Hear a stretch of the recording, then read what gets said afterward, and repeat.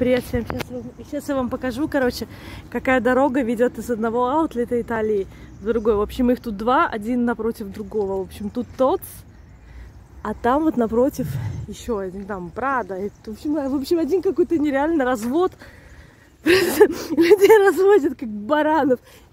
Просто нереальный. Я, я, я развод такого масштаба видела только в Сан-Марино. Там, где вот эти русские тетки с зубами цвета унитаза, все обвешаны бриллиантами, тебе какие-то липовые, короче, скидки втюхивали.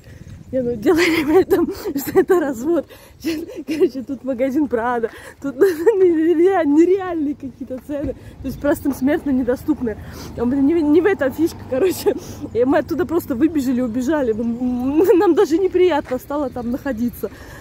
Там гора каких-то красиво одетых дяденек, красиво. Ну, в общем, фишка вот в этом, вот как переходит из одного аутлета в другой. Короче, вот, вот как из одного аутлета переходит в другой. Вот так вот. Вот это вот где Прада, где тот. Тут надо, короче, через канаву перелезать. Вот сейчас еще двое полезут через канаву. Сейчас их сниму.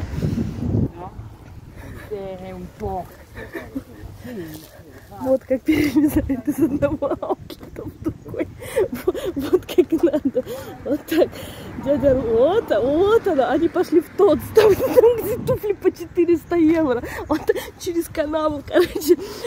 Еще поедем в другой атлет.